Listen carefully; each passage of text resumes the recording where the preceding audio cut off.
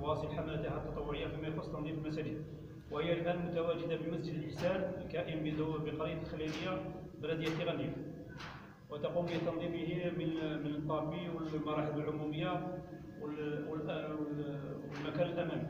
وال- والأسبوع الجاي إن شاء الله تكون في مسجد طريق المساعدية 5 مارس. 5 مارس.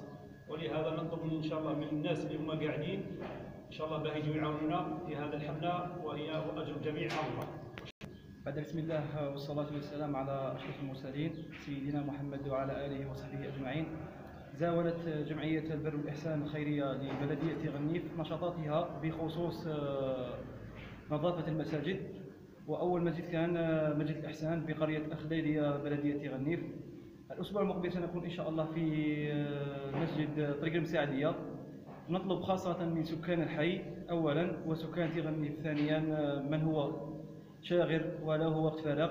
آه، بعد صلاة آه، الظهر يوم الخميس آه، الخامس من مارس أن يمد لنا بيد المساعدة. كما نطلب آه، ثانيا آه، مواد تنظيف.